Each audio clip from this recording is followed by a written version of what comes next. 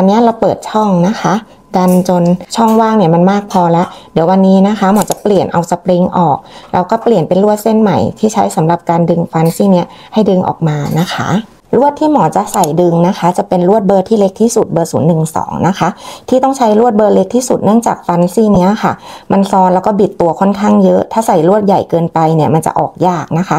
การใช้ลวดเส้นเล็กมีประโยชน์ก็คือ มันทำให้เกิดการลื่นนะคะ ทำให้ฟันเคลื่อนตัวได้ค่อนข้างไว แล้วก็คนไข้เจ็บน้อยค่ะ ในตำแหน่งที่เป็นฟันซ้อนนะคะ หมอจะมัดด้วย ligature เพราะว่า ligature เนี่ยมีความแข็งแรงมากกว่า O-ring ธรรมดา แล้วก็มีความฝืดน้อยกว่า O-ring นะคะ จะทำให้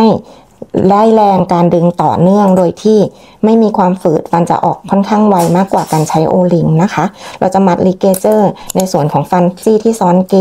ไปจนถึงฟันซี่หลังทั้งหมดเลยนะคะ